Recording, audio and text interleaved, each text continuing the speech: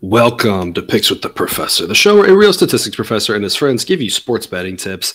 I am your host, Professor Sides, and this college football episode covers bowl games scheduled to be played from December 27th through December 31st here in the 2022 bowl season. In case you're new here, check out the webpage on the banner. It's www.pickswiththeprofessor.com slash new for some explanations, goals, and community rules – as always, remember there are no locks in gambling. And so, what cousin Jared and myself will try to do is make at least one successful pick on every game, all at, at one unit each. Also, picks even out on the websites of Patreon's plays of the day. But I also recommended an extra half unit. The compilation of those recommended results can be found on both Betstamp and in the Google Sheet links in the show description. The Google Sheet also contains a full set of projections. And for early access to those, hit a Patreon. The link is in the crawler below. That's also where you can access the Discord chat, which is the best place to get your questions answered about these or other games. But as always, take what you like and leave the rest. Lastly, please understand that good and bad variance will occur. So, as much as we'd like to say will be profitable each and every day, that is an impossible reality for any gambler. Because, uh, Jared, bowl season's been really good to us so far it has been good to us so far, and I can't believe that we're already getting to you know the Sugar Bowl, the the Orange Bowl coming up here before the end of the year. I feel like this is kind of what college football you're kind of going for all season, are these these big bowl games. It's kind of the prize at the end of the season, and and somehow here we are. Yeah, yeah, exactly. Uh, last set of bowls, five, two, and one, with the Quick Lane Bowl happening about to start pretty soon from when we're recording uh, this right. So by the time you're watching this, you might have a better idea of how that game has gone for us. But things have been going really well for us uh, so far. The strategy has been mostly just take underdogs and say, yep. "Why are you giving me points when it's these two teams that are pretty close to equal? Who the heck knows what's going to happen? Maybe sprinkle a little bit on the money line." And that's been a very winning strategy. We're going to do the same uh, for a handful of games today, but not quite as heavy as we were before. Uh, we were talking about this a little bit before show that uh, earlier on these games, a lot of these teams are really bad, and you can get more than a field goal, just grab it. Who really knows, right? Yep. And as we get towards these later bowls, there's a handful of them that you look and say, these two teams aren't equal, and there's some real reasons why you should actually take a favorite. So I think this one will be a little more interesting episode of you know, dodging back and forth between grabbing points with the who the heck knows, if that's too many points, and then laying it with the favorite and saying, hey, here's why this one might be a runaway game because it's not quite like some of the other bowl games that we talked about. Yep, de- definitely agree. There are some spots here, and even there are some spots where teams that I don't like, but even I will implore you to lay the points with them because the numbers just don't add up from what we're seeing. Yeah, I feel like there's a handful of those. Uh, it might be a, a, tough episode for for you to get get to make your way through with some of the teams that we've decided to back for yeah. for better or worse. Uh, but before we get to these bowl games, some reminders: please hit that like button if you're on YouTube. Also, if you aren't yet, please consider subscribing or following. It's free, and if you turn on notifications, you don't miss any college basketball, MLB, or college football content that this channel provides. Already mentioned the Patreon, but check it out if you haven't yet. Lots of great benefits be found over there above and beyond what we do here. Membership starts at just $3 per month, get you the plays of the day. You can also join our Discord chat, which is a lot of fun, a lot of good information being uh, disseminated there over the sports we cover here and other sports. Uh, again, lots of good things over there. www.patreon.com slash picks with the professor. But even if you're not there, we're still thrilled to have you here. Let's get to the games. All lines except for two, courtesy of Bet Online. The other two we're going to grab from Bet US. Both those sign up links are in the show description. We always just do everything courtesy of Bet Online. There's a couple of exceptions. There's two games we'll talk about when we get there. That Bet Online is like the only place that has a certain number, but it's widely available everywhere else. And again, at Bet US, which is another uh, link you can use in the description to sign up for. Um, and we're going to take a slightly different number on those two. Uh, different games, but otherwise, um, most lines courtesy Bet Online, all current as the time of this recording here. We've all locked them into Bet Stamp around noon central on Monday, the 26th. We're going to kick us off Tuesday. We've got four games here on Tuesday, the 27th. We're going to start off with a game.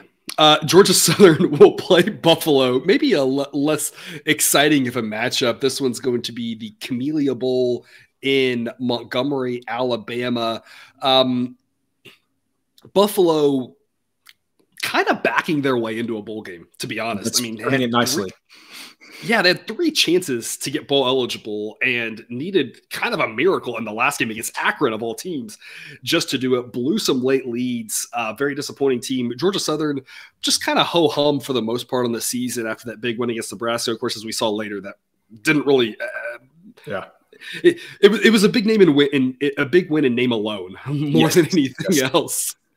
Um, both of these teams are six and six. Sideline says that Georgia Southern was the 89th best team, or projects to be the 89th best team going forward. Buffalo, the 101st best team. Um, and not really a lot to report with regards to players out. The running backs, both for Buffalo, did not play in the regular season finale. I guess Akron, they uh, are going to miss a couple of other players through the transfer portal. Not a lot really to be that concerned about. Um, getting those running backs back would be huge, but uh, we're going to take the four points with Buffalo, and I kind of feel like the short answer is who the heck knows? Grab points. That's what we've been saying for most of these games. And this, I know it's we're getting later into the bowl season, but this game feels like it should have happened on December twenty second. Uh, oh yeah, and, definitely. Yeah, maybe like December sixteenth. There, you go, because what are other reasons why uh, we're we're good with grabbing the points here in this one? Because uh, I've been wrong on Buffalo all season, and after what I have seen from them the past three games, I would say there is no way. I'm pretty sure that's the first thing we did when we came on to talk about these. Is I don't want to back Buffalo, uh, but then we talked about it's it's just too many points with two not great teams in a game. Who knows what's going to happen? And as I, I, started to say, I've been wrong on Buffalo all season. This is definitely a spot where I'd say fade Buffalo. And so surely that means Buffalo is going to win this game outright if I were going to fade them. So yeah, let's grab the four points. It's been a good strategy for us so far uh, this bowl season. And uh, I think there's no reason why you shouldn't take the four points here as well.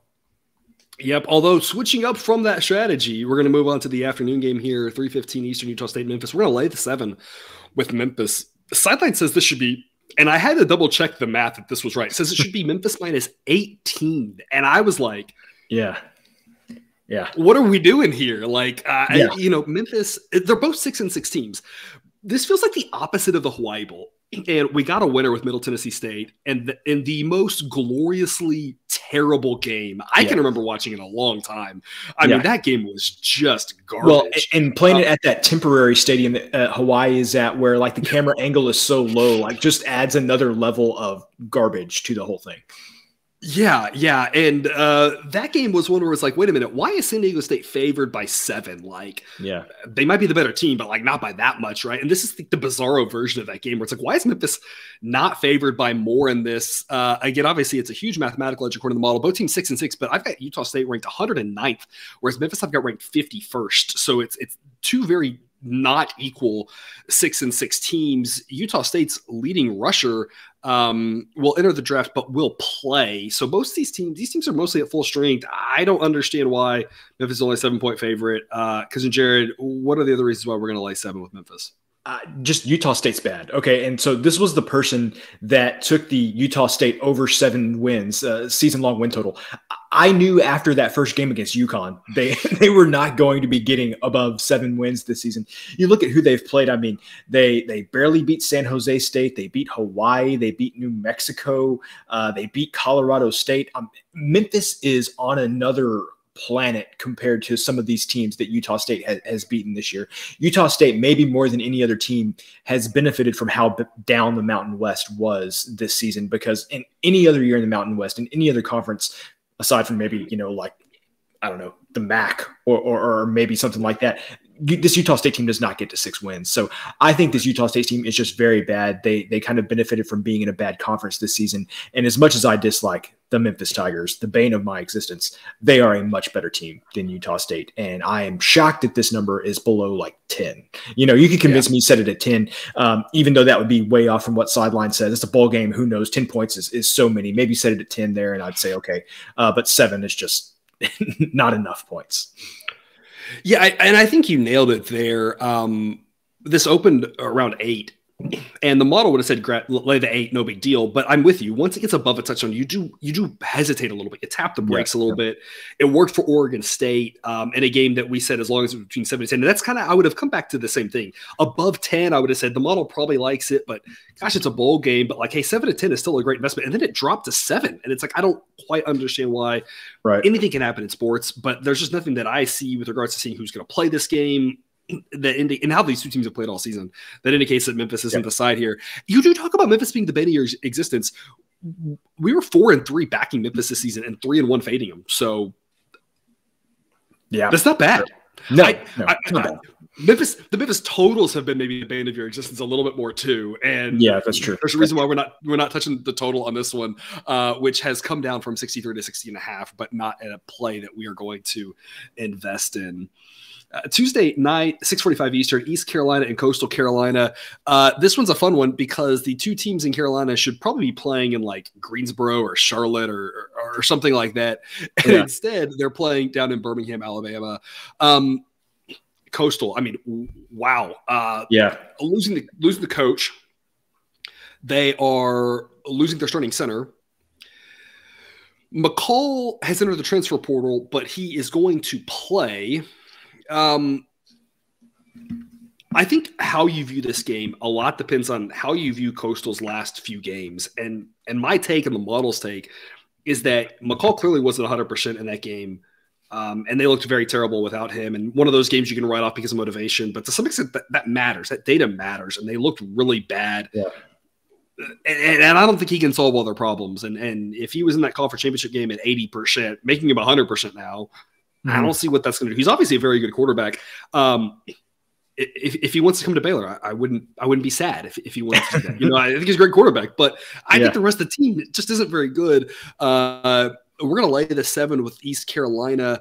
Um, there's a couple of minor players for each team that are out beyond that, but but nothing overly major. Uh, Sideline says this should be East Carolina minus 13. And it's really taking a hard stance against the way Coastal Carolina played at the end and saying, I know that McCall wasn't in for all of that, but this team has some real problems. Who knows about the coaching distractions? Because, uh, yeah. Jared, what are the other reasons why we're laying this up with East Carolina? So I, I, think obviously McCall being out is is a huge hit there. Uh, but uh, oh my gosh, blanking on his name, coach for Coastal Carolina, Chadwell, Jamey Chadwell, Chadwell. Like it was, it was well known. Like some coaches are like CEOs of their programs. Chadwell was like an offensive guy. He, he that offense was really his, and he's kind of what made it unique. So uh, losing McCall and losing Chadwell, both on that offense, from again from what made Coastal so unique, I think is just a gut punch that they won't be able to get past. And I think you got to look over at the ECU side and Holton Ahlers. Holton Ahlers has over 100 career touchdowns. This is like approximately his 15th year starting at quarterback for ECU.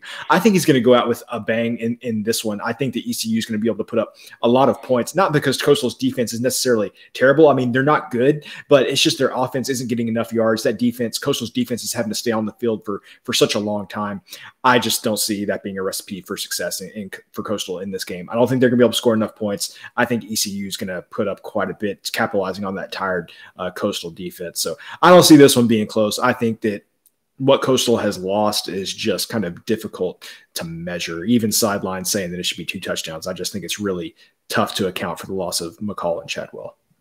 Yeah, and uh, this is one of those uh, games we talked about at the start of the show. That seven and a half at Bet Online, but BetUS has it at seven. It's widely available at seven still right now. And so that's obviously the better number to get. So shopper, I make sure you only lay seven, just because that push protection is such a key number in college football makes a lot of sense. Uh, Coastal Carolina is nine and three, but Sideline ranks them 103rd. And again, yeah. it just it really is not buying into this nine and three records. Is that a lot of those wins were against softer opponents and just the way yeah. they look these last few games when they played a real team in Troy, just getting smoked there, and a real team in James Madison even without McCall yep. getting smoked in those two games. East Carolina is a pretty solid team, you know, around middle of the pack in college football. Uh, yep. A seven and five team in a decent conference. You know, they're not great, but they're not bad. And uh, that that's going to be way too much for Coastal to handle. Yep, definitely agree. And what would Coastal's rating be if you know if if you take in only consider what they've done with, without McCall and things since things kind of gone off the rails? I think I think oh, probably yeah. more than 103. Absolutely, absolutely. And, and even with McCall, I, would have to go back and look, but I mean, they weren't really much higher than like 80th, even with McCall 100%. The model just wasn't buying into it, just kind of saying it's been a weak schedule. And, you know, they mostly have lost to better teams and they beat up on bad teams. It's a bad conference uh, or yep. bad division that they were able to play in. And so they, they beat up on a lot of the weaker teams in their division. And, yep. um, you know that that got them a lot of wins, but that doesn't make them a great team. And so we're like the seven there with East Carolina, which takes us to Tuesday night. Um, we've got two plays on this game, and you know you can make a hard case that you should have zero on them just because of how gross this game is. I feel like I'm going to talk for ten minutes talking about who's not playing in this game. Uh, this one's out in the desert. Uh, this is the guaranteed rate bowl at Chase Field in Phoenix. This is one where they play in a baseball stadium. I mean, let's just start off right there. Gross number one playing at a baseball yep. stadium just always makes it weird, and I, I just yep. don't understand. I don't understand why. Uh, whatever. Wisconsin, Graham Mertz out, which hurts a little, I guess. I don't really know. Does it? I don't know. I am not know. convinced. I'm not convinced. I'm not sure why Florida, like, what did Florida see that made them want to take a chance on Graham Mertz? I know it was highly rated prospect. I mean, this is outside the scope of this show, uh, but just confusing by that one. That's right up there with Justin Wilcox turning down Oregon to stay at Cal. Never forget. Um, yeah. I, I feel like we can have a whole show on questionable transfer decisions, like yeah, JT Daniels to Rice. I, yeah, huh? Like yeah. it's just a lot that's just like we could just dive into and be like, there's a lot of reasons I'm sure, but it's just very interesting. That, that's obviously one. So so no Mertz here for Wisconsin. They're also going to be without their starting center, starting defensive lineman, a starting cornerback, um, uh, a linebacker that's declared for the NFL draft. I don't even know if he's going to play or not. The coach, uh, you know, new coach obviously. But Oklahoma State is not much better. Spencer Sanders, who was I, losing Spencer Sanders, I'm not sure if that helps or hurts. Like 100% Spencer Sanders is a good quarterback. I'm not sure the last time we saw him 100%. He tried to play for the yeah. whole back half of the season in and out and was clearly not 100%. Yeah. Really struggled with injuries. He's not playing. Uh, Gunnar Gundy, who I assume is uh, the coach's son, is one of the two options for quarterback. Neither one of them has looked great. They've also lost a starting linebacker who had almost 100 tackles, a 500 yard rushing running back, um, a couple other guys to transfer. I mean, both these two teams were already, I feel like, kind of limping coming into this and not really yep. great, and then losing all like half their key players. I understand it, I guess, from a for these players, you're not really motivated to play in this bowl game. It's late at night. Um, it, it's going to be probably pretty ugly with regards to what you expect from these two teams. That I think what's left of these two teams is probably still better than Georgia Southern and Buffalo. But the difference is, is you just expect so much more, and they right. aren't going to really have it on the field. Um, in my opinion, sideline makes this Wisconsin minus two and a half. Wisconsin went six and six this year. Not a great record, but still ranks them 32nd overall because obviously it was a tough schedule. Um, Oklahoma State went seven and five and is ranked 44th. The way I kind of view this is sideline says this should be three, and I have no idea how to really penalize both teams for what they lost. But I think it's a lot on both sides, and so I'm going to say it's probably a wash it reminds me of what we talked about the week before. Who the heck knows? This game could get really ugly. Grab three and a half points. It makes sense because it's not like either team really has anything I think you can point to yep. to really make you like them. If you want to talk about Wisconsin's defense, you can also counter that with the fact that the experience that Gundy has as a coach historically has helped teams do a little bit better in bowl games. And so there's kind of a counter angle to everything you want to talk about. So just grab three and a half points. Yep. And kind of similar to that, we're going to grab the under 44 and a half because I don't know what's going to happen. 44 is the most key number in sports. So when you see a 44 and a half, what do you do? You go under. Because yeah. Jared, what, what is your take on this one? Yeah, so I, I think we what we're trying to do here is we're trying to apply lessons we learned with the Eastern Michigan bowl game, and I can't yeah. remember who Eastern Michigan played right now, uh, but we took the under in that game. Uh, we should have taken the San Jose State. We took the under in that game. We should have taken the points with Eastern Michigan. So here, really, what we're trying to do is I think we're just trying to lower our risk a little bit by taking two plays, taking the three and a half points, going to under 44 and a half. I think worst case, one of these uh, wins, and, and, you know, if the other loses, okay, we've kind of minimized our risk there. But I think there's a decent shot that, that both of them win. So uh, this game, I think, is going to be ugly. And when you got an ugly game, let's take the under and grab over a t- uh, over a, a field goal when you can. Yeah, we always talk about like you're not just playing you're not playing teams, you're playing numbers, right? I always like you probably heard me say viewer, you're playing numbers and teams. Both matter. In this yep. case, we're kind of just playing the numbers. And we're not even caring. We're just these two teams are just uh, shells of themselves at this yeah. point, and we are kind of just playing the number and just saying three and a half, 44 and a half. These are some really, we are on the right side of two really key numbers. We're just going to play the odds and say that that's going to help us out in one way, shape, or form in a game that, again, who really knows? Uh, the late night game. It, if, if you don't stay up and watch this, you know, it's probably good for your mental health, um, unless you know you're a fan or alumni of one of these two schools. Um, yeah who knows what you're going to wake up to in the morning. So it's just one of those. We're just trying to make smart plays here by grabbing uh, the the hook with the field goal and grabbing the hook on the most key number, uh, or yep. one of the most key numbers in totals of 44. Yep. Which takes us to Wednesday, the afternoon game here, 2 p.m. Eastern, UCF and Duke. Duke is a three point favorite at Bet Online with minus 124 odds. They're only a handful of threes out there. They mostly moved to three and a half elsewhere. Um, so again, assuming you're watching this before that number's moved, the sign up link for BetOnline is in the description to get that number. It's only there um, and, and, a couple other random places. Um, even if you're a domestic only player, I do always recommend having a couple offshores. They have some advantages that they can offer um, with regards to offering reduced juice on a lot of games. So it's never bad to have one of those as your outlets. Um, and so again, that sign up link in the show description there, you can lay three with Duke. It's got a little bit of odds, but it's worth it. I would never recommend buying to three because you're probably paying more than it's worth because they yeah. they know what the probability is and they know what they're charging and they're charging you more than you're getting. So it's more about shopping around and finding a place that has a better price on the three because at three and a half, you're probably going to have to be laying more when you buy down, you're probably going to be laying more like minus 130, minus 135. And that's yeah. a really high price, but minus 124 makes sense to lay it with Duke here. Uh, the model says it should be UCF minus 1.4 um, likes UCF overall as the better team than Duke. They did get one extra win than Duke, nine and four versus eight and four. But when you consider what UCF is dealing with, quarterback John Rhys Plumlee, I assume he'll be more healthy, but I don't really know if he's going to be 100%. Their number one receiver um, is out.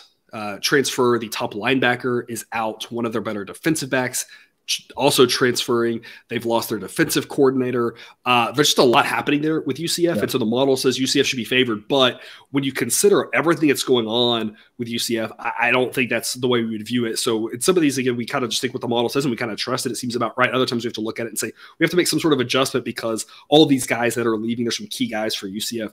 Duke's been great to us. So we're going to lay the three with them because, Jared, what's your take?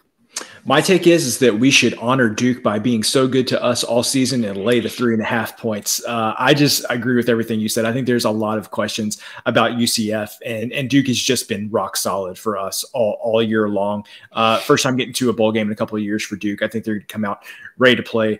Um, UCF ha- had the chance to to get to the the uh, excuse me Cotton Bowl, I guess, and, and, lost that game to Tulane. So maybe a little bit of a letdown spot for them, having to go for potentially playing a big school in the Cotton Bowl to playing this game against Duke. So uh, I, I want to lay the three points with Duke again. If anything else, this can just be a, a thank you, Duke, for everything you've done for us this season. Yeah, they've been really good uh, against the spread all season. Um, to the tune of a nine and two record. We backed them on about half of those, and it mostly worked. But every time we faded Duke, it, it turned against us. So it's one of those. Yeah. Let's yeah. not make that same mistake. Uh, yeah. This seems to be played in Annapolis, and so if there is any bit of fan advantage, you have to assume it goes to Duke. UCF's been in a lot of bowl games. You have to assume they're not really excited to go up to a game in Maryland in colder weather here in late December. But Duke fans, not a large fan base, but what fans they do have, um, a lot of them would be a little bit more excited probably to travel to this game. So yeah. I'm not sure Duke gets much of an edge there, but if there is any to be found, it's probably a little bit of a motivational, a little bit of a fan edge or whatever. The proximity for Duke, a little bit more there than UCF. So you can lay the three there, even with a little bit of odds, is too good to pass up the early evening game Wednesday, 5:30 p.m. Eastern, Kansas and Arkansas. Uh, I mean, Kansas has been a fantastic story all season kind of fell apart towards the end of the season, mainly because they just could not stop the run. And because yeah. uh, Jared, what does Arkansas do again? They run the ball pretty well, from what I oh, recall. Yeah, they run the ball pretty well. Uh, we're going to go over in this one with regards to who's around and not around. Uh, Jalon Daniels should be back for Kansas. Uh, they look just as good, really, with Bean. I'm not really sure there's a huge yeah. difference between those two guys um, either way. So the Kansas offense will be good. Their defense, though, should be fully there. But the problem is, of course, it's not a great defense. They will have lots of time to prepare, which will help, but I just don't think it's going to matter really. Yeah. Um, given what I saw as a Big 12 fan watching a lot of Kansas football this year, Arkansas got some guys out on both sides of the ball. Um, they are losing all uh, first team All SEC linebacker and a first team All SEC center. All, all, all SEC, uh, first team All SEC name team as well in Bumper yeah. Yes, he's out for injury. Uh, they've lost a couple. They lost a defensive back here, a tight end, a, a receiver to the portal. Uh, their leading receivers entering the NFL draft. Uh, a, a, defensive lineman who started every single game has entered the portal. Uh, Arkansas's not really the full team at this point, whereas Kansas yeah. mostly is.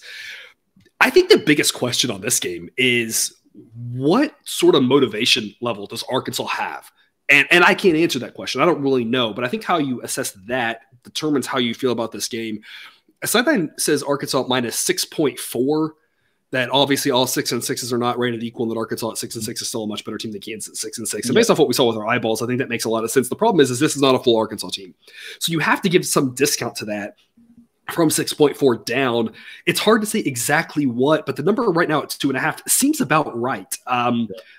Honestly, on the, if I was going to play Arkansas, I'd lay the two and a half. I was going to play Kansas. I just take the money line and just say I don't really know what's going to happen on this, but take the plus odds there. It's just not yeah. big enough plus odds for me to get excited about in a game that we think is going to have a lot of points. And if Arkansas comes out motivated and decides to run the ball like they can, like we've seen them most of the season, they're going to run all day long Kansas, and it's going to be really hard to stop them. If they come out not motivated, Kansas could win this game. So I can, can, really see it going either way. The one thing I'm pretty certain of is I think there's going to be a lot of points. We're going to go over 69. If Kansas wins, it's going to be because they score a lot because Arkansas's defense just doesn't show up. And I just I can't see really a world where Arkansas isn't able to just run all over Kansas unless their offense just decides to take the day off. Um, Jared, what's your take? Yeah, you laid it all out there really well. Just lather, rinse, repeat from everything you've seen from Kansas games so far this season. They just cannot stop anybody from running the ball. And I think Arkansas is just going to go up and down the field. So you mentioned you wouldn't be surprised if, if Kansas won this game. I wouldn't either, but, you know, don't feel great about it. So the only thing I can feel like I can say for sure is going to happen is there's going to be a lot of points. So let's just hope for an exciting game that gets high scoring. And again, I have a lot of faith in both teams to not be able to stop each other. Absolutely. This game will be in Memphis. And so I, I assume it's going to be a sellout. The Liberty Bowl has to be thrilled about this matchup. Arkansas being close. Yeah. Arkansas fans are pretty passionate fan base. I assume they're going to sell out their allotment of tickets. Yep. Uh, Kansas not having been in a bowl game in a while. I assume they're going to be really excited for this. It's not that far. It's, it's a little further from Lawrence, Kansas to, to Memphis, but it's not too far. Um, yep. It should be a, a packed stadium and a fantastic atmosphere. A game that I'm really excited to watch. If it plays out like we think at a lot of points, it should be a fun one as well. Um, again, not really sure who wins at two and a half. You know, it, it, I, I for sure wouldn't lay more than three with Arkansas. They're missing too many guys at this point um, to make me want to lay more than a field goal. But at two and a half, if you if you think that you know Arkansas shows up and is motivated, if you think Arkansas wants to be here, I think laying that two and a half makes a lot of sense. If you think they're if you're concerned about that, maybe take a chance on the Kansas money line. It's kind of how I would recommend yep. that. But we're going to pass on both of those because we just aren't sure. And so instead, yep. we're going to play the over 69 instead.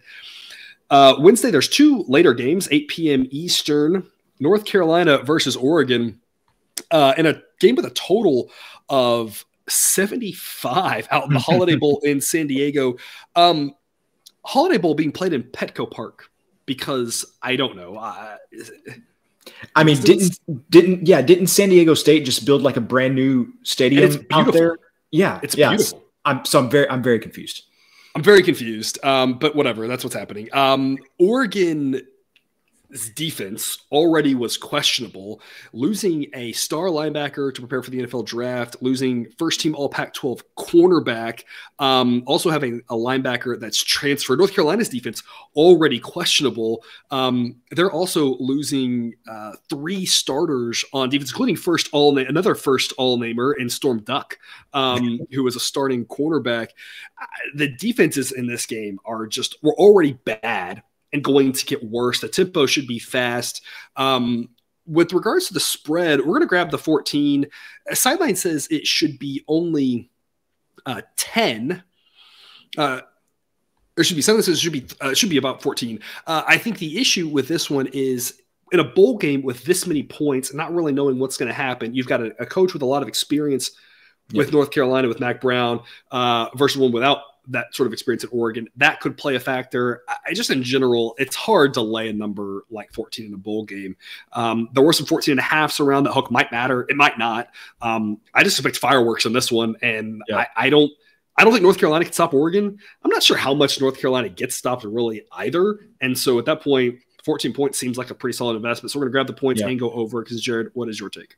Yeah, I feel like the the over here is kind of self explanatory. If you watch either, you know, both of these teams this season, that, that one's pretty easy. You you sent something to me right at the beginning of bowl season where it said uh, it was something to the effect of uh, coaches that are coaching more than ten bowl games against coaches coaching their first bowl game were like 80% against the spread yeah. or something like that. And so I think you've got a situation here with Mack Brown, uh, knowing exactly what to do to kind of bide his time with long layoffs like this, uh, go, going against uh, uh, Dan Lanning for for Oregon, which again could have been Justin Wilcox, but he chose not to go there. Uh, I, I, just think that North Carolina's going to have a little something for for Oregon in this game. I think Oregon is the better team. I think Oregon wins, especially oh, yeah. with how North Carolina uh, played uh, down the stretch, just not looking that great. But with so much time to prepare, I think Mack can can dive into his bags of tricks from all, all of his years there and come up with something to keep this game uh, closer than 14. Uh, we talked about taking the dogs have been a, a, you know a profitable thing to do this bowl season. 14 points is a lot of points in a, in a bowl game, even for two high scoring teams. 14 points is a lot of points. Yeah, and I think you hit the nail on the head talking there about Mack Brown with a bag of tricks. As as a as a fa- many, many of you know, my father is a, a Texas alumni, so I, I, hear a lot about UT and watched a lot of them growing up. And watching those Mack Brown coach Longhorn teams growing up, they tended to uh, underperform a little bit in bowl games when they were big favorites, and they tended to play really well when they weren't big favorites. And it's that experience of having that little something in their bag of tricks to motivate you, whatever it is, yeah. pointing to the spread, whatever it may be. He seemed to do a pretty good job um, when you know they weren't getting a lot of respect coming through, and people were kind of writing them off. That's when he had teams that did well in bowl games. Um, you know, people people talk about they had a couple disappointing seasons. I'm like a couple of the Chris Simms seasons were disappointing.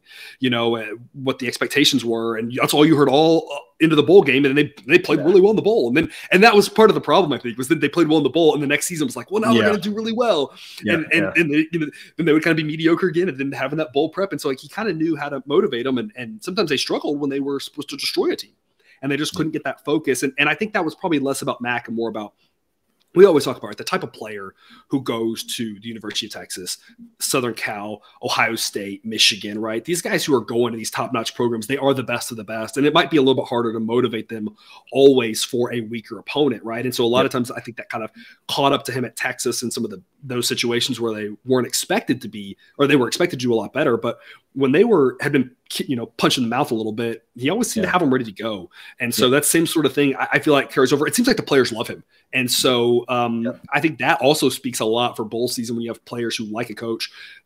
It helps you get through the practices for this bowl season. Helps you, you know, work on your trick plays, work on your your new schemes, your new things that you're trying to figure out how to how to handle this Oregon offense. Again, like you said, Oregon's a better team. Oregon should win this game.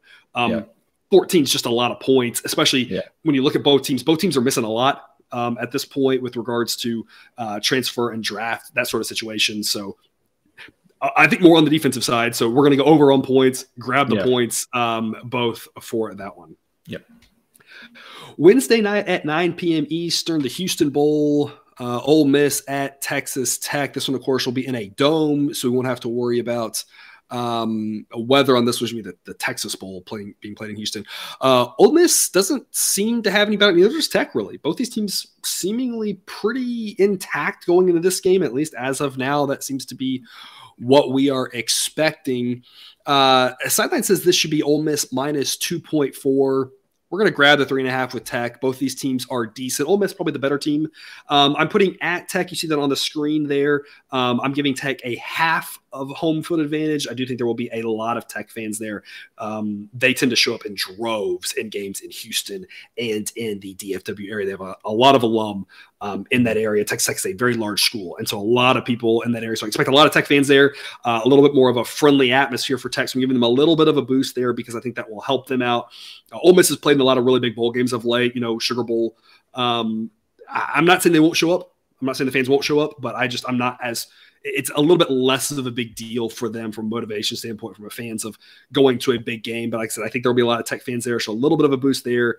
We're gonna grab the three and a half, just a smart play of grabbing the field goal and the hook. Cousin Jared, what do you think?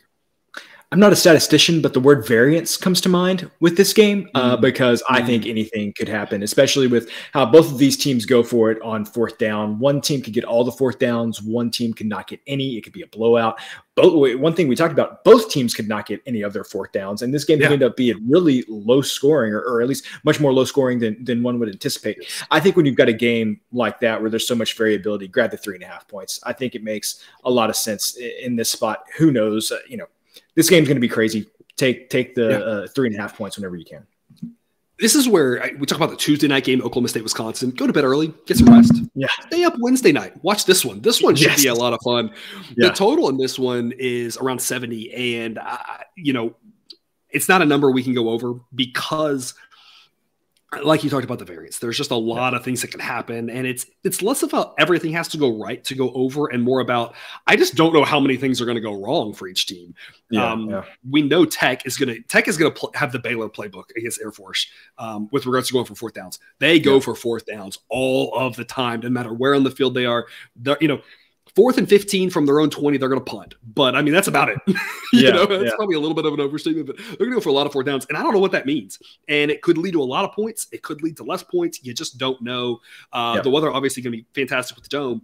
Um, so I, I, would I would probably lean over, but it's just a big number. And there's a lot of ways that you could have a long stretch without a lot of points and the game lands somewhere in the mid 60s, which is still a pretty high scoring game. So it's a total that I think is a pass. Um, but yeah, kind of like cousin Jared said, a lot of variance in this one. Grabbing the grabbing the hook with the field goal makes a lot of sense.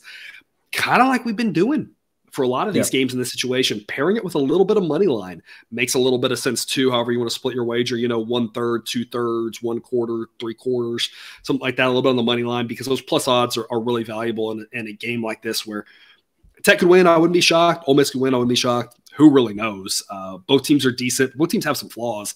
And when yeah. you get four weeks or three weeks or whatever to prepare to exploit those flaws, you don't really know what you're going to get.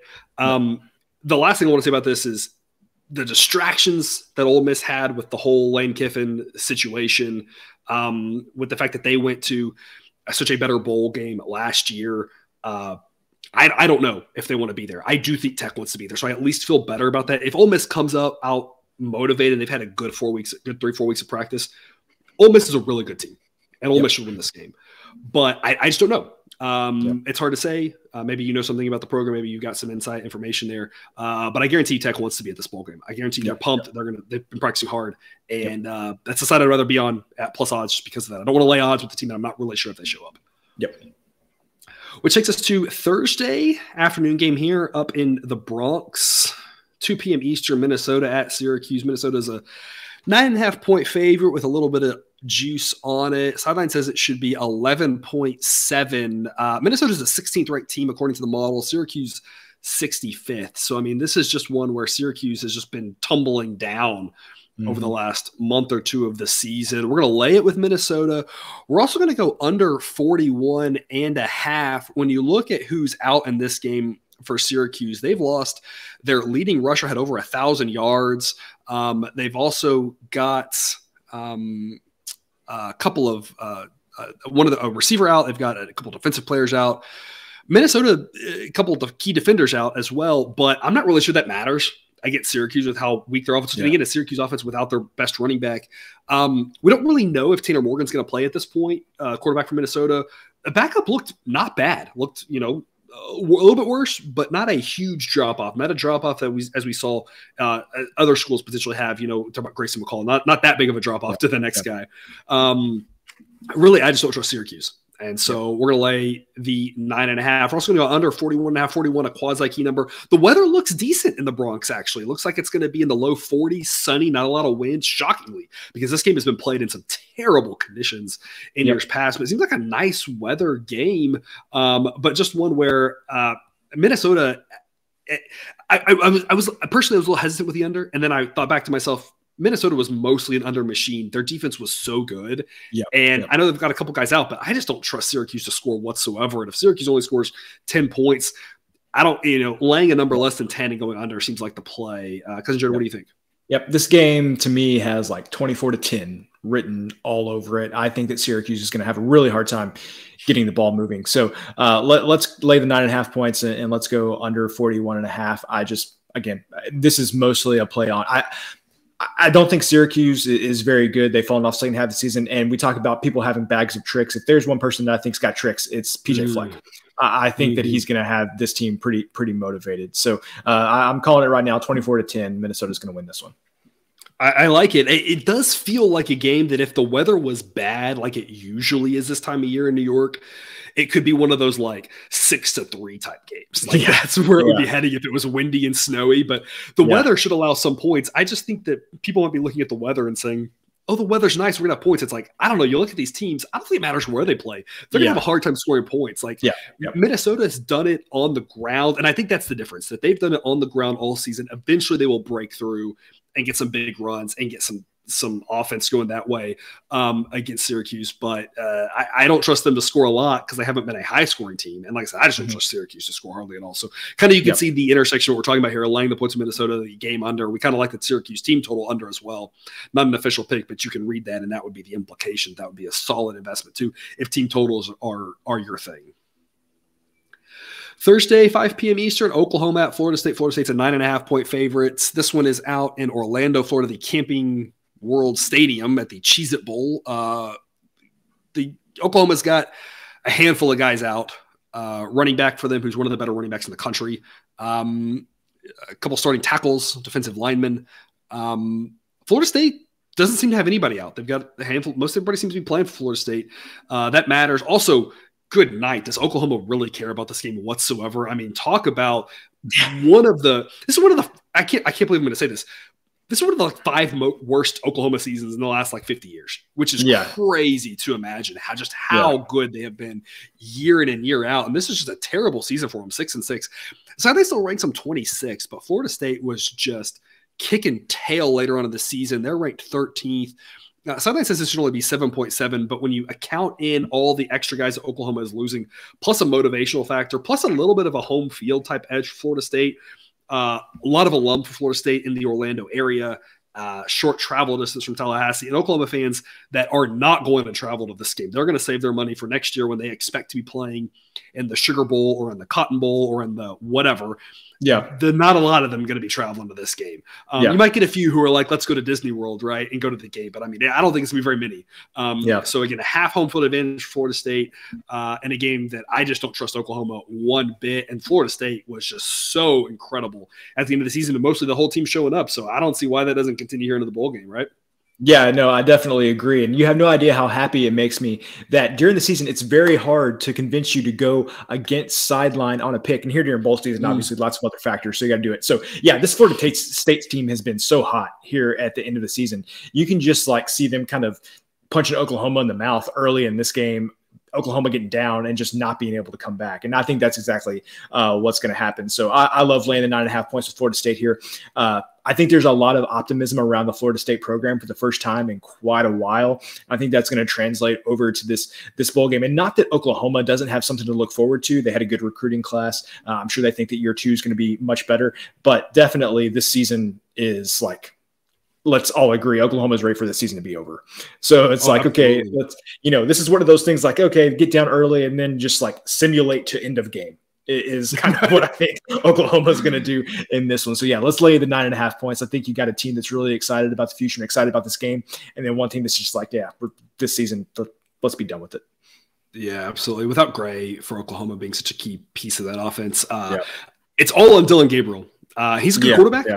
Uh, don't get me wrong, but I mean, if Oklahoma State's any chance, he is going to have to put this entire team on his shoulders. And uh, yeah. given how good Florida State looked, that's just not a bet that I want to make personally. I don't. No, you'd have to give no. me, you'd have to give me a ton of points in this one for me to think that Oklahoma was worth an investment because this is one that I feel like could get ugly. Which is what you're looking for when you're laying a number like basically ten. It's nine and a half with a bunch of juice here at Bet Online. There's a lot of tens out there. I think laying to ten at better odds is just as just as good. I don't think there's really a big difference there. Yep. Um, but if you're laying basically ten, you want it. You want to feel like this one might get really ugly, and absolutely, I, if I had to pick one game to get ugly uh, this bowl season with regards to just a runaway, it's this one. I kind of feel like it's very similar to the Oregon State Florida game, where you know one team wanted to be there and looked good, and the other team didn't. Yep. and it was yep. kind of a runaway, and I feel like that's kind of what we're looking at there. The late game Thursday night, 9 p.m. Eastern, the Alamo Bowl, Washington at Texas. Texas is a three and a half point favorite, but at even money. Sideline says this should be Texas minus 9.8. Texas, without their top two running backs, obviously their number one running back will be a first round draft pick. Um, just an incredible talent. And number two, not far behind them, also a very good running back. I think Texas has got some running backs behind them, though. I think Texas yeah, got running backs yeah. running through their ears. So I'm not really sure that matters much. I think the biggest issue in this game is is Ewers for Texas.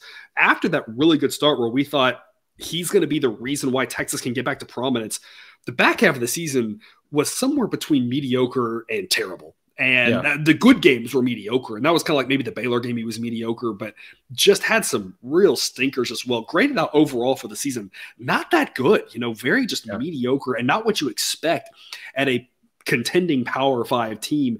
And yep. that's going to be the issue for Texas more than the running backs is the fact that the issue for Texas is going to be that their quarterback is still there, not that their running backs are not there, which is crazy to say. Yeah. Because the better quarterback of the two, Hudson Card, has entered the transfer portal. And so he's the guy that you'd probably rather actually have playing in this game if you're a Texas fan. So that's going to be the biggest issue. And then they are missing probably their best defensive player as well, Overshown, who's going to the draft. Um, that also kind of matters. Washington seems mostly intact. Uh, a really good passing offense for Washington, and that's going to be what Texas stop.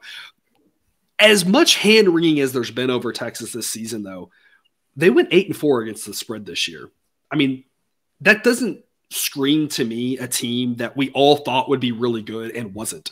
Yeah. Maybe that's what the talking heads were thinking, but when you go to what really matters, which isn't, I'm sorry, what Kirk Herbstreit says on TV or what Pat McAfee says on TV. And those guys are entertaining, yeah. absolutely, and and and no disrespect to them, but what they say isn't what matters. What matters is what the spread is because that's the real indicator of how the how the teams are perceived. Yeah. And Texas covered eight games and didn't cover four. So I mean, I, I think there's the, the, narrative that you know Texas is underperformed or whatever. I'm not really sure how true that is.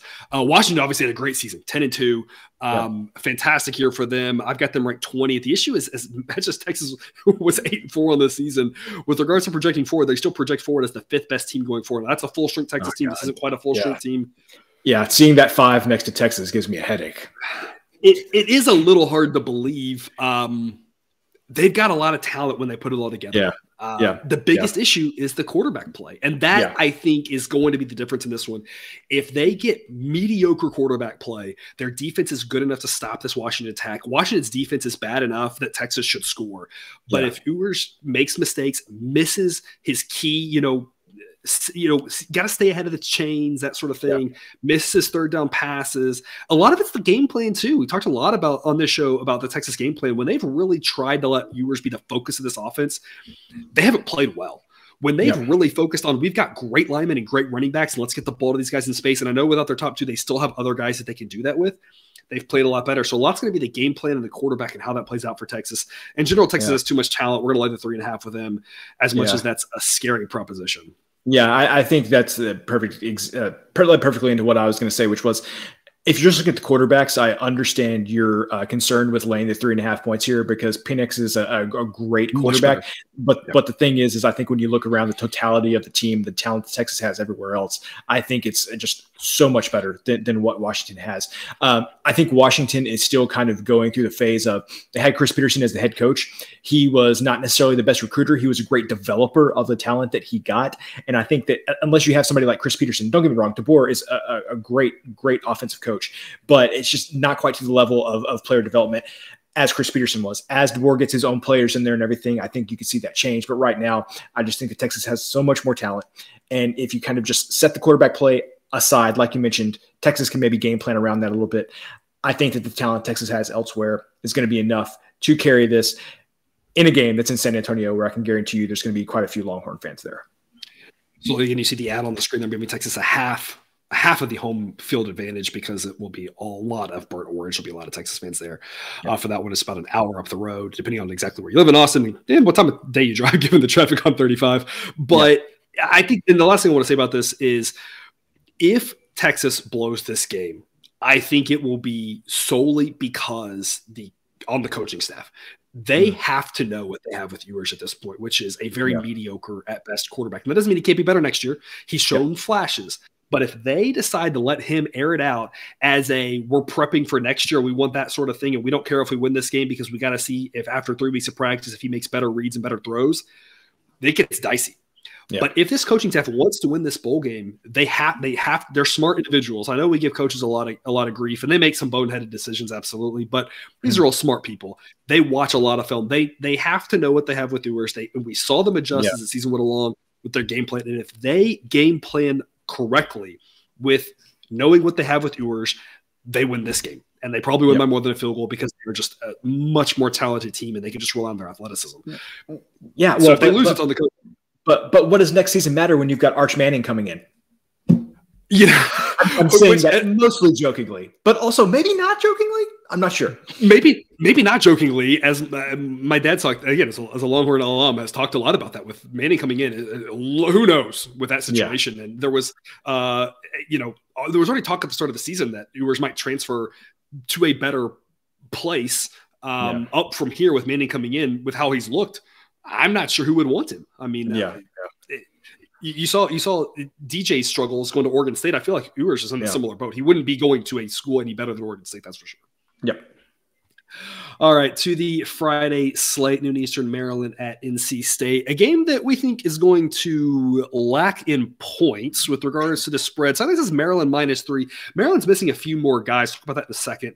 Than NC State is. So if I were to take that minus three and drop it down a little bit, maybe Maryland should be about a one point favorite. They're getting a point right now. It's not enough to be excited about either direction. I think Maryland's the better team at full strength. Again, they're at less full strength than NC State is.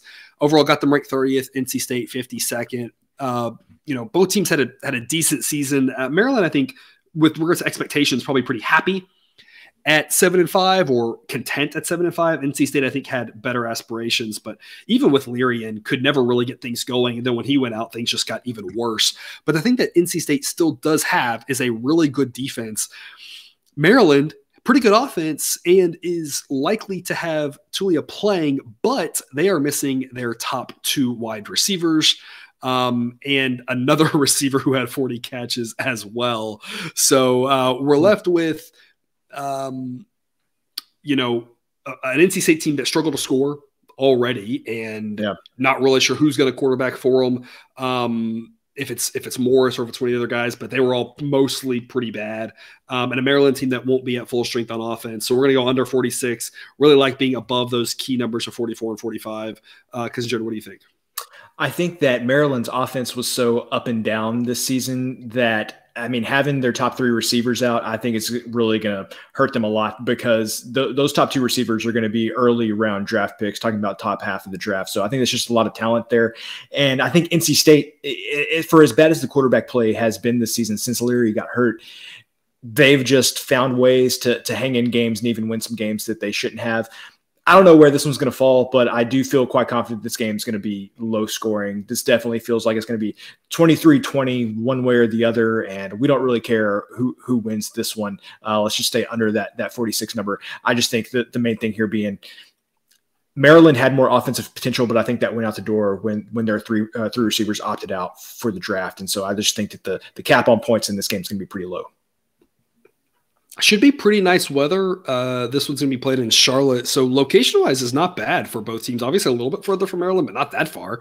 Um, and obviously, just down the road for NC State. So, um, you know, a Charlotte area that sometimes gets rough weather this time of year, but we're right now projecting about 60 degrees, not really much wind. Uh, so it should be very nice weather in a game, as you can see again on stream. I am giving NC State a little bit of a home field edge, knowing how close they are, expecting uh, a little bit easier time of travel and a little bit more fans there. That gives them a little bit of a boost.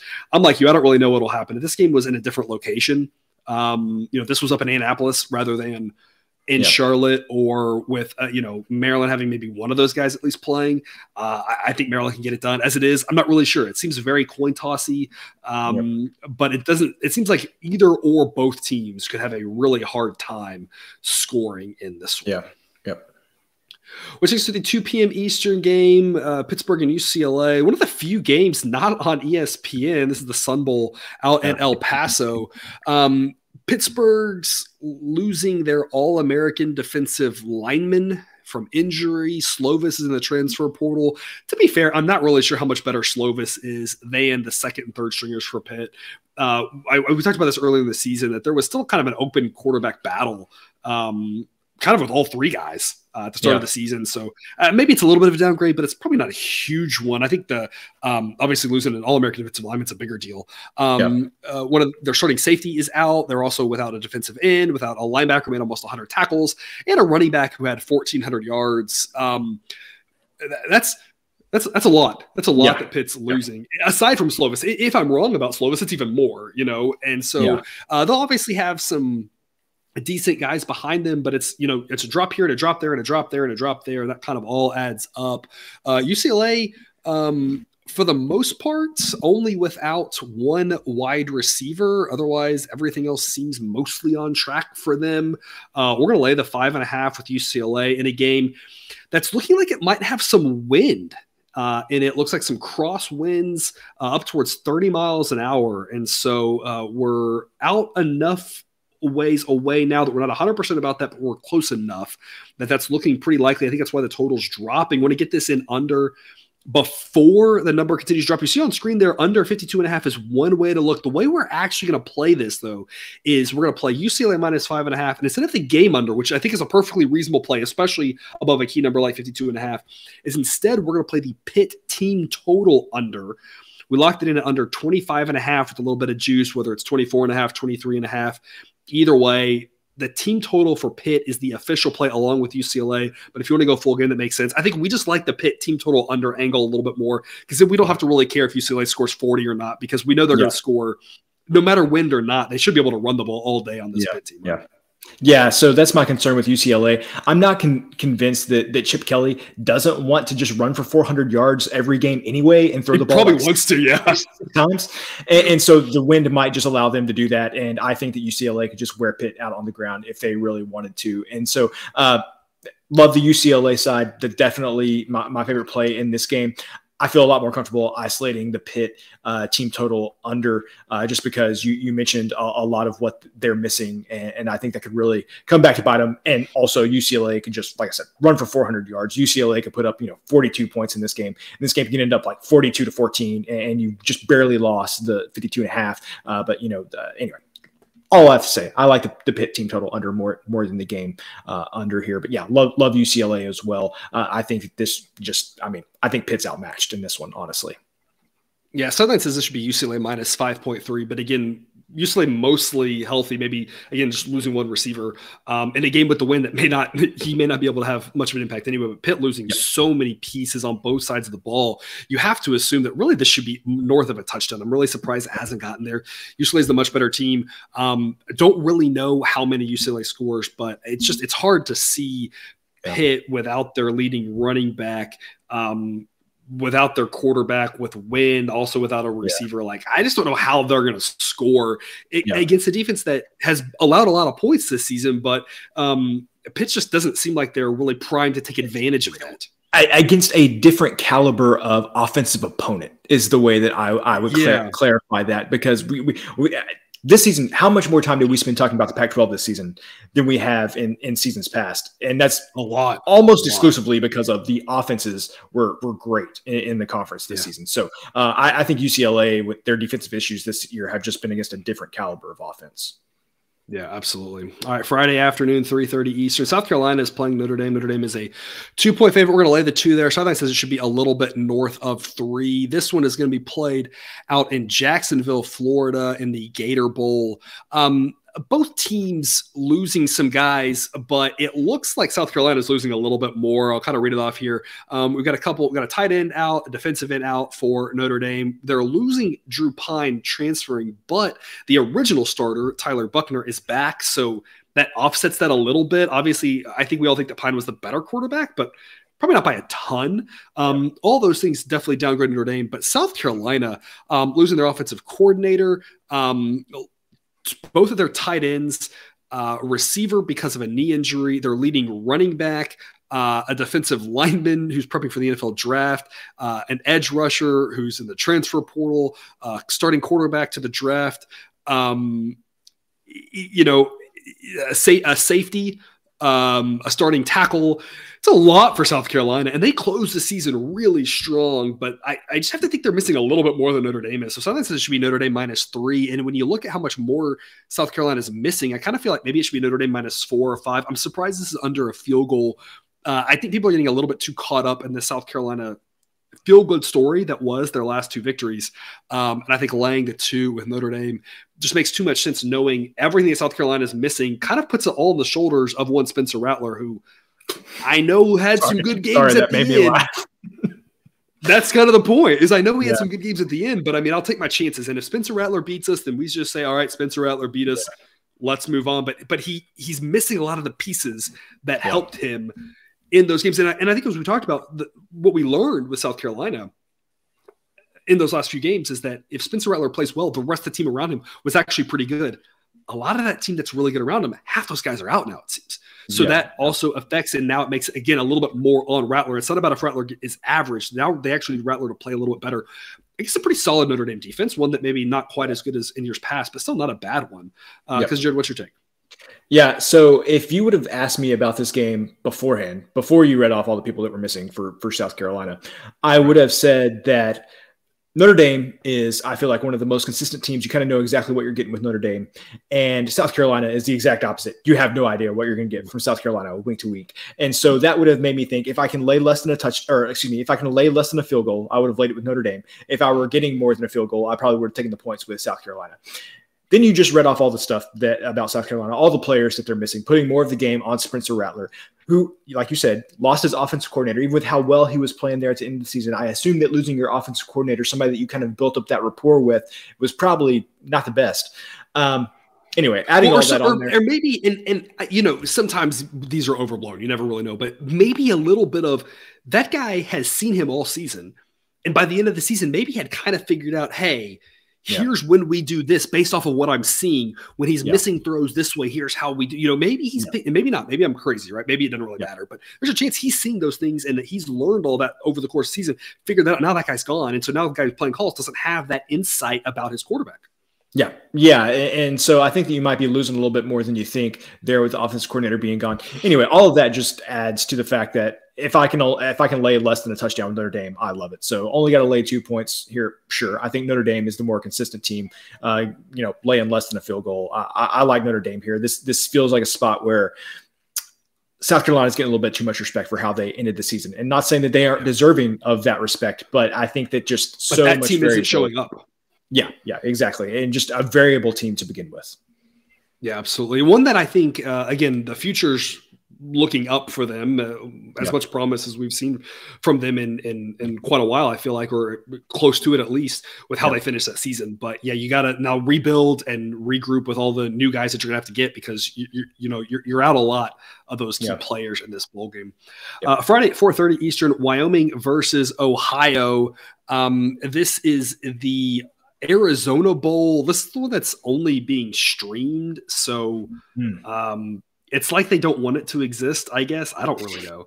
Um, maybe these two teams don't want it to exist. I, I, don't really know. Ohio was all rourke. He was what made that offense go.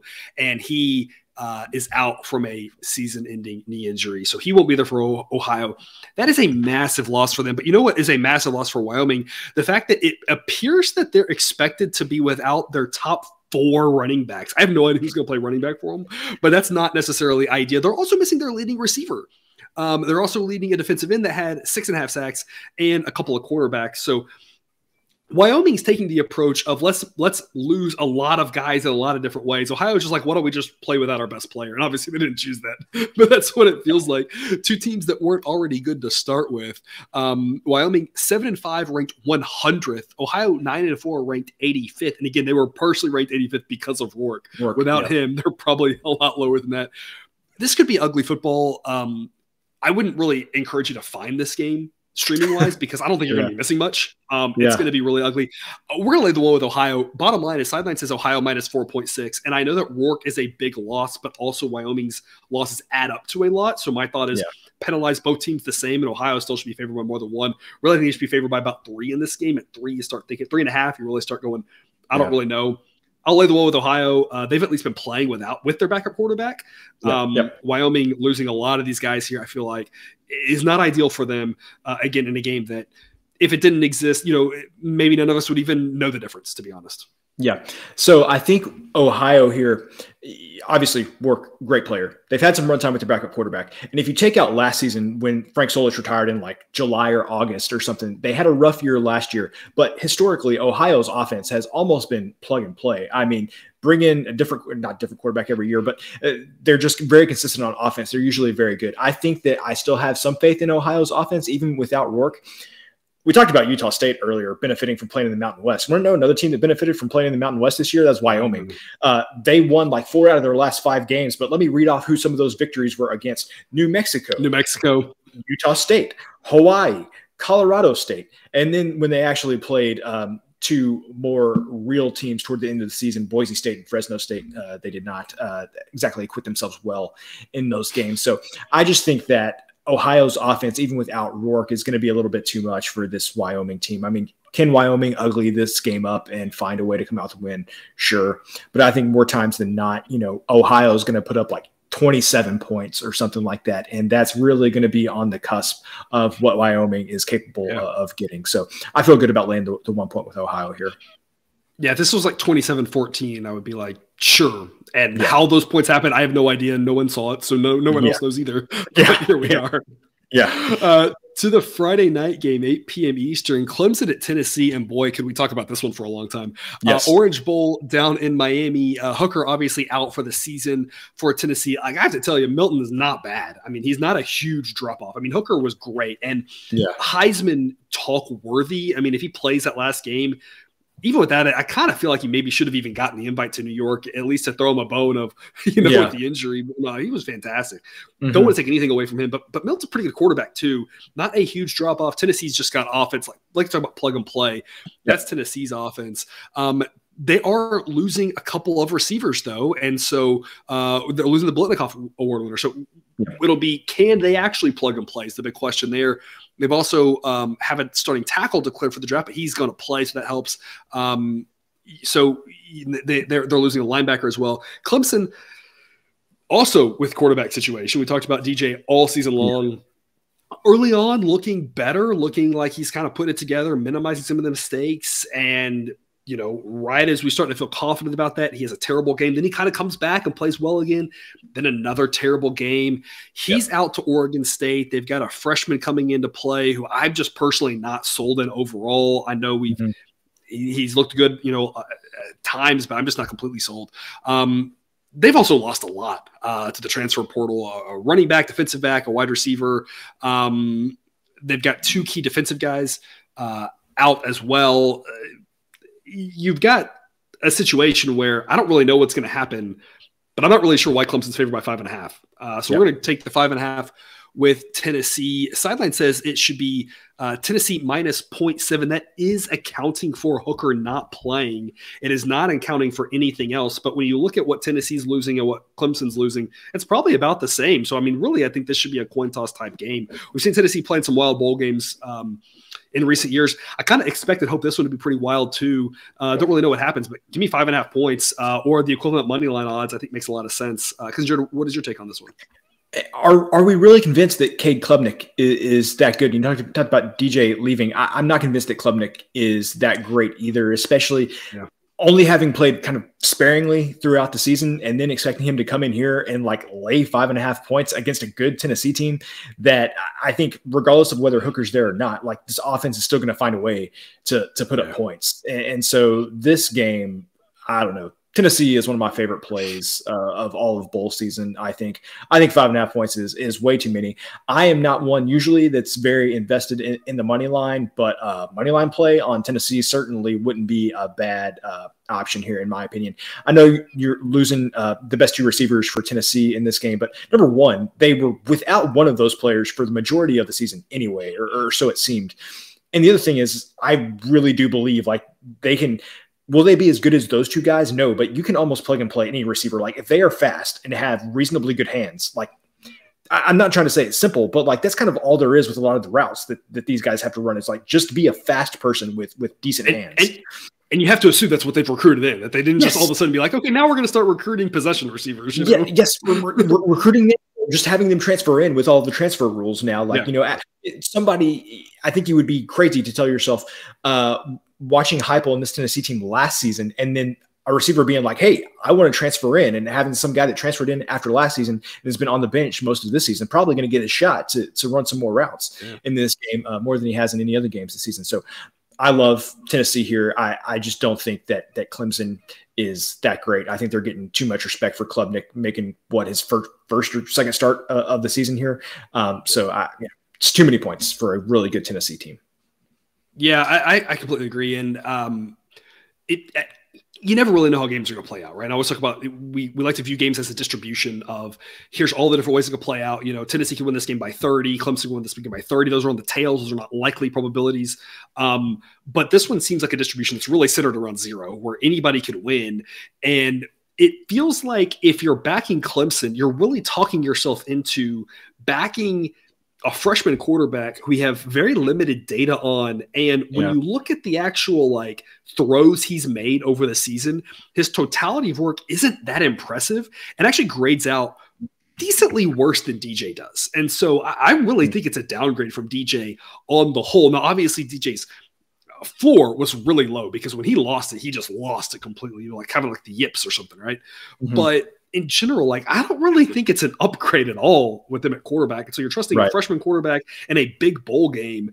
I know he's had some time to prepare, but I just I'd be more comfortable with him next year when it's like you got the whole offseason to grow and work. And it's yeah. like, is is three extra weeks gonna be it? I don't know. I, it, it it could be but it just yep. seems like that's not really where I want to have my money on yep. banking on that, you know, because that's a yep. kind of a terrifying proposition that Tennessee's without their quarterback, but the other guys played a lot. And again, it's been pretty solid. You know, I, I, yeah. I, I much prefer Tennessee's quarterback to Clemson's. And they go back to that Washington Texas game. I much prefer Washington's quarterback over Texas, but that's like the only position on the field that I would probably say that at. Whereas right. in this game, it's like I much prefer Tennessee's quarterback, and then here I want this guy, and here I want this guy, and here I want this guy, and it's kind of a mismatch after that of two really good teams. Um, right. I might lean some of Clemson's guys more than Tennessee's, but it's not overwhelming like Texas's situation. So there I can kind of overlook the quarterback because the other 21 guys in the field are mostly favoring Texas. But in this game, it's like maybe it leans Clemson, but the quarterback edge I think Tennessee has here is, is, again confusing why we're getting plus odds, why we're getting five and a half points. It doesn't make any sense to me. Definitely agree. Speaking of games that won't make any sense, noon Saturday, Iowa and Kentucky. Um, oh boy, this is the other game. Yeah, this is the other game I mentioned. Uh, 31 is at BetUS. Uh, it's uh, widely available across the market. It's 30 and a half at BetOnline, but it's 31 just about everywhere in the world. It seems like uh, we're going to go under 31 because if this game's nothing nothing going to overtime, I mean that would be pretty fitting. Um, yes. I, I, does this game need any setup? I mean, nope. let's talk about if these teams if these teams are at full strength. Let's talk about that first, and then we'll talk about how that's all not true. If these teams are at full strength, you've got a seven and five Iowa team that the model says is the 27th best team, and a seven and five Kentucky team that the model says is the 34th best team. That means Iowa should be slight favorites. They are slight favorites. When you look at who's out in this game. You've got um, for Iowa, they're missing quarterback Spencer Petras, which I don't know if that matters. They're also losing their backup to the transfer portal. So now we're going to the third stringer who's made a grand total of as many career NCAA college pass attempts as cousin Jared, you and I have made. Oh, wow. So that's not ideal. But to no. be fair, Iowa never relied on their quarterback anyway, and I don't think he won them a yeah. single game this year. So it's not like they're missing. I mean, it's a downgrade, but it's also like a downgrade that might not matter. Um, yeah. They're also missing a receiver who had 18 catches, and honestly, without looking it up, 18 catches that might be their leading receiver. I'm just saying. Probably not true, but it's not impossible. Well, I, I, assume um, their top two receivers are their tight end and their fullback. Uh, but yes, maybe they're leaving receiver for a wide receiver. Yeah. Right. Um, they also are losing a linebacker and starting safety. Uh, is out as well. But Kentucky losing Levis probably not a big deal. I don't understand it whatsoever. We've talked a mm. lot about him this season. Uh, Maybe he'll make a good. Maybe he'll make a good pro quarterback. I don't really know, but like he was terrible this year. I mean, straight yep. up, just useless. Basically, I mean, he was probably not even in the top fifty best college quarterbacks this season. I, can't believe I'm saying that, but that's how bad yep. he was this season. So missing him, I'm not sure if that matters a ton. But you know what does matter? starting running back Chris Rodriguez Jr., who actually was their workhorse as a running yeah. back. Missing him matters. They're also losing a starting cornerback.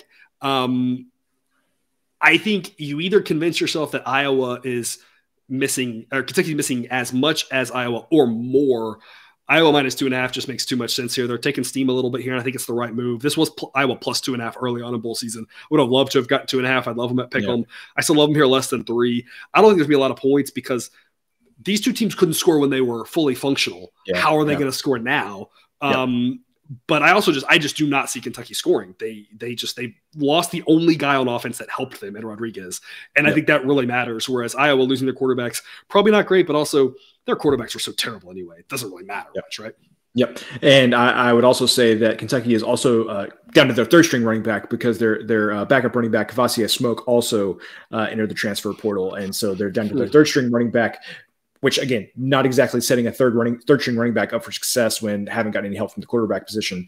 Uh, all and going against Iowa, going against Iowa, like, yes. And, and yeah. if there's anything you can best count defense on, in the country, yes, Iowa is going to get some turnover inside of you know the Kentucky's 20 yard line, or they're going to block a punt or or something like that. They're going to get up set up with good field position, and they're going to end up with like at least I don't know three or six points out of that, a couple field goals maybe, or you know, God forbid, an actual entire touchdown from that, and that's going to be the difference in a game like this. And so, yeah, I love laying the points with with Iowa. To your point, they've done it all season without any quarterback play that's worth writing home about. Uh, at least Kentucky, you think whoever's starting at quarterback will be a downgrade from what Levis was. At least, gosh, I hope so. I don't know why they stuck with yeah, Levis so long yeah. if the backup was, was worth a flip.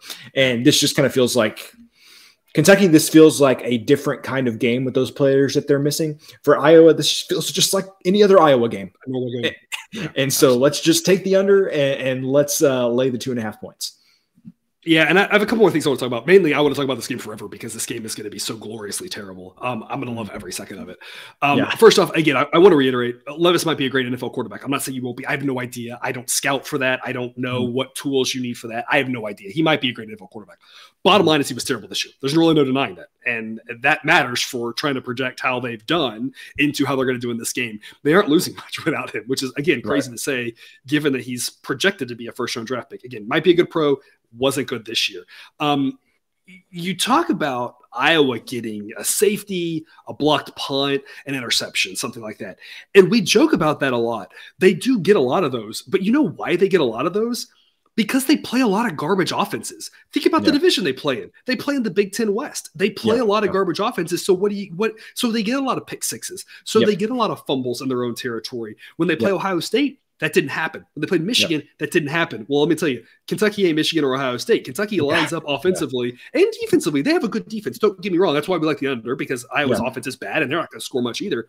Yeah. But it's not just a joke about, oh, Iowa's probably going to get a safety or Iowa's probably going to get a, you know, a pick six or whatever. It's like when you play a bad offense like they played half of the season in their conference, like they're playing here, that's what they do because that's what good defenses yeah. do. Good defenses force turnovers against bad offenses. Guess what? Because he's got a bad offense. So I don't want people to hear that and just be like, oh, they're just saying that that's not going to continue. Like it may or may not. Turnovers are a little bit fluky, but Iowa puts themselves in position to get those turnovers because of the way they play, because of how good they are. They can be a little aggressive. And when you're playing yep. a bad offense, bad offenses turn the ball over. And that's exactly what we have here. So the probability of something like that happening is actually pretty high. Like Iowa yep. is fairly likely to have a defensive touchdown or set themselves up for an easy defi- uh, offensive score or set themselves up for field goals because obviously if this game was like nine to three that wouldn't surprise me either with these two teams um, weather uh, you know should not be uh, as big of a deal in this one because we don't expect either team to pass the ball very much anyway.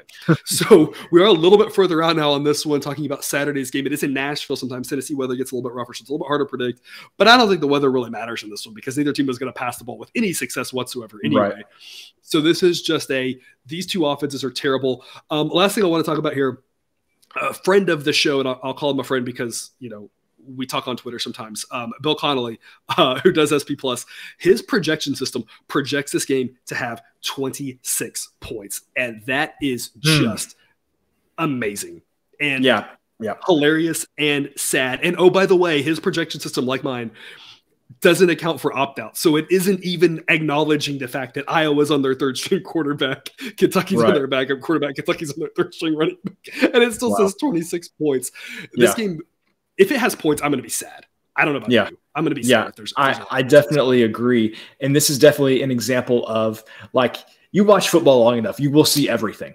Uh, because we, like literally like what confluence of events had to have occurred to get a game with a projection of 26 points that's okay yeah. that's that's not an uh, academy a, a, a, you know an academy right. triple option game. Okay. But uh, even those then, those still project to have 30 something, I think, on his projection systems. I've never seen yes, a projection this like that's crazy. That, that's true. And those projections are wrong for those games. Uh, but yeah, yes. this one between like two teams who are like supposed to run like a semblance of an offense that the other team isn't completely 100% built to stop. Uh, and yeah. it's just, this is just crazy. This is just crazy.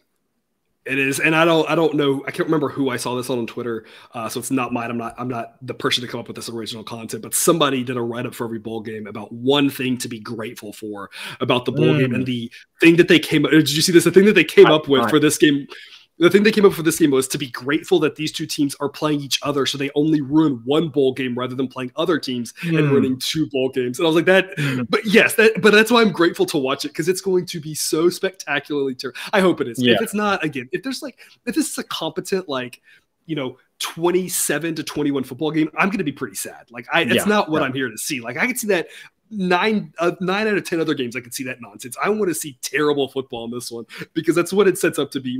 And and actually terrible, great defenses, fantastic defenses. I don't want to take away from that. And that's part of yeah. it. Is I want to see the good defenses because we don't we see we see don't see uh, the defenses get to just tee off like this right in a lot of games. You know. Yep.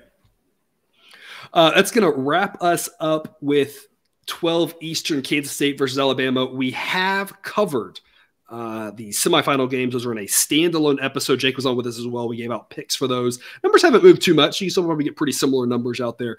Check that episode if you haven't yet. So this is the last episode, or last one on this episode. We will cover the games in the new year in another episode. There's about four or five of them left, and the national championship game. We will cover that in a week from now. So this is going to wrap us up here Saturday noon Eastern, Kansas State and Alabama in the um, what is it, the Sugar Bowl? Sugar Bowl, yeah. Sugar Bowl. Um, Alabama having Bryce Young and Will Anderson playing supposedly is a big deal. And I know both those guys said that. Would it surprise you if either one of them backed out between now and then?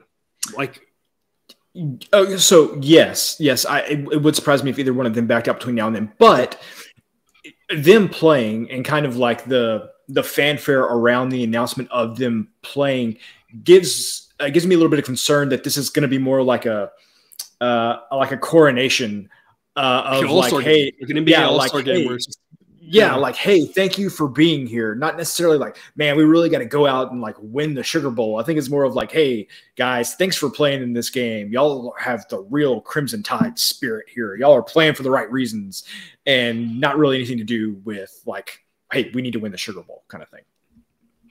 And we do assume they both will play. The only reason I say that is we have seen in the past, it has happened before where a player has said he was going to play. And then in the time, especially when you say you're going to play weeks ahead of time, something changing their mind. And mm-hmm. that not happening. Uh, obviously, God forbid, we hope no injury happens to them. We hope no injury happens to anybody else. In general, we hope for good health for everybody. Um, mm-hmm. If between now and then uh, a big quarterback gets hurt, you can see Bryce Young being like, "Oh, actually, like that kind of worries me a little bit. Now I don't want to play." I'm not saying that will happen. I'm just did we did think he not, these guys are not watch the Sugar Bowl last year? Yeah, exactly. Right. So it's one of those where it's like you just never really know if that's yeah. actually going to happen. You know, when they say no, that they're not going to play, you know, they're not going to play because they're not practicing, right? So that's a different right. story. But when they say you, you just never know. We do think they're going to play. That matters. Obviously, those are two fantastic players for Alabama. Matters yeah. a lot. It's part of the reason that they are uh, six and a half point favorites. Kansas State is fully healthy. With regards to the fan edge, I, I, I don't know. I mean, Alabama's not that far from New Orleans, so I mean, I assume there should be a lot of Alabama fans. Kansas State fans. I mentioned this last year when they played LSU they travel really well. I assume yeah. they're going to be down there in Groves. It's a big game for them. Um, big 12 champions here. They are excited for this. They finished, they got 10 wins, um, coached very well. Um, this is a former coach from North Dakota State who obviously mm-hmm. did great things there. Um, I just cannot say enough good things about this Kansas State program a little bit of chip on their shoulder, you have to imagine. Kansas State, yeah, given yeah. that Saban makes the comments about, well, TCU, how they lost to Kansas State, you know, the, that other nonsense, right? And how, you know, implying that that was a bad loss, right? So all the motivational edge has to be here on Kansas State. You never really know with Alabama in these games when they don't make the playoff. They make the playoffs so often. You just never yeah. know when they show up. Obviously, Saban is out there and he wants to win. Saban wants to win everything. I mean, I, I imagine yeah. playing checkers with Saban would be intense, right? Um, yes. Um, I don't think the guy wants to lose at anything. But what he does can only go so far with those players. So you just never really know about that. But I have no doubts about Kansas State motivation. We're going to grab the six and a half. Sideline says it's a pretty well priced line. Alabama is the fourth best team in the country, but Kansas State is the 10th best team in the country. The Wildcats are not a bad team and should not be slept on. I think they can hang around in this game. Don't know if they pull it off, but it should be a good game. Um, Kansas State does enough weird, different, unique things um, that I think they can hang around. And again, I know at least I've got the motivation factor. I know I've got the crowd being into it. I know I've got all those things that might not matter. And Alabama may have them too, but at least I don't have to worry about that with Kansas State. I know Kansas State really wants this game. And maybe Alabama does too, maybe not. I just don't want to question that if I'm laying a bunch of points. So we're going to grab a six and a half with the Wildcats. Because, Jared, what do you have to say? I don't have much else to add to that. This just feels like a game where, uh, you know, Kansas State has all the motivation in the world, and in the grand scheme of things, what is this game for for Alabama? I mean, I know that Saban's going to be all about the process and doing things the right way, but I mean, at the end of the day, these are 18, 19, 20 year old kids that I mean, it's just it's just not the same. Not having kind of that national championship at the end of the the rainbow for them. So I think that Kansas State is going to come out and find a way to ugly this game up and just do just enough to keep it close. And maybe they lose by a field goal, maybe they lose by four points. Uh, but I just think that they have so much more motivation, and I think they're going to be so much more into the game than the majority of these Alabama players are. That I think six and a half points is just way, way too many for the situation. Yeah, um, Alabama, of course, it's just an incredible run for them. Right, last year, yeah. uh, making the national championship game. Uh, two years ago, won the national championship. Year before that, didn't make the playoff, and they played. They did play really well, beat up on Michigan. Now that Michigan team uh, was really one dimensional, like all the Michigan yeah. teams have been up until recently, where they yeah. finally actually got a quarterback and um, you know a, a, good running game, right? You know, a, a more all around team, but that Michigan team was very one dimensional. They, they won that really well. Um, a year before that, made the national championship game. A year before that, won the national championship. A year before that, lost the national championship game. A year before that, yeah. won the national championship. So, I mean, we don't have a lot of data on how they're going to do yeah. when they don't make yeah. the playoff. That one game, like I said, I, you can take something from it if you want. I don't really know. I will say the two uh, previous bowl games before that, they did lose. Um, one to Oklahoma, one to Ohio State. So, um, mm. you know, a very mixed bag of what to right. do with Alabama not in a playoff game. Just don't really know. And that's my point. Is it's not I'm not saying that they will show up or won't show up. I, I don't want to anger the Alabama fans. They may show up, and if they show up and play really hard, they're a really good football team. But yeah. you see this Alabama team, there's a reason they've got two losses next to their name, and they looked questionable all season. You know, they, they questionable against an Ole Miss, right? A game against yeah. Ole Miss that they probably should have lost. Ole Miss is Kansas State's a better team than Ole Miss right? And it's that they they've got some flaws on their team, and if they don't show up, if there is any lack of motivation, any lack of man, we played a playoff in the national championship the last two years, that sort of thing, any of that, at least we know with Kansas State, at least we know what we're getting, right? right. We just right. don't really know with Alabama, and even if we do, if they if Alabama plays the way they played against Texas, the way they played against Texas A&M, mm-hmm. the way they yep. played against Ole Miss, all yep. three of those were wins that they didn't cover Yep. And then, of course, you got the two losses to add to that. So, uh, yep. a lot of ways that Kansas State can cover such a big number like six and a half.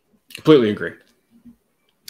All righty. Well, that's the bowl games through the end of the year. Again, the semifinal games are in a standalone show. Check that out if you have not yet. Again, those numbers are mostly still available that we played on that show. Otherwise, cousin Jared, any parting words?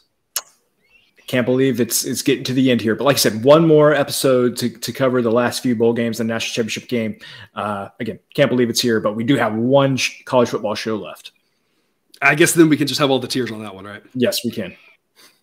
All right. Well, thanks for tuning into this episode of Picks with the Professor. Don't forget to subscribe so you can enjoy all the sports betting content we run on this channel. It's dropped right into your feed. We'll be back again six days a week now with college basketball betting content. Again, one more bowl show. But until we see you again, as always, best of luck. And remember, you can eat your betting money, but please don't bet your eating money.